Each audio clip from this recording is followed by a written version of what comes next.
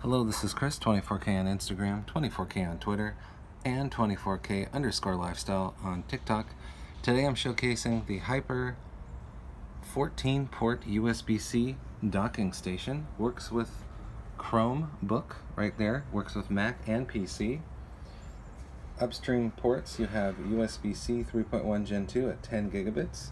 You have power delivery 3.0 at 65 watts. It supports DisplayPort alt mode. And then the downstream ports, you have USB-C supporting 10 gigabits and DisplayPort 1.4. You have USB-A at 3.1, 10 gigabit port with BC 1.2 and Apple Charge 2.4 amp compatibility.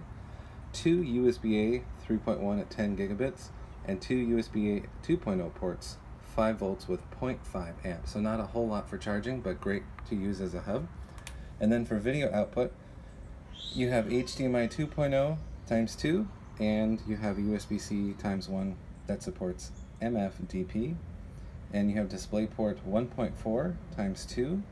And there's a bunch of other details for that DisplayPort information, which I'll get to in the description. Supports audio 2.1 channels on this side, right here. There's a power button right there. The audio ports right here on this side. Supports gigabit ethernet out of that port right there. And it works with Chromebooks, works with Windows 10 and Mac OS. So you can get that now.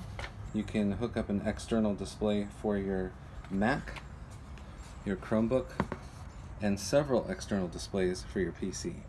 So if you want to do multiple external displays with your Mac, you'll need a different Hyper hub for that but this definitely offers a lot of technology and connectivity with one small hub, and it's pretty light.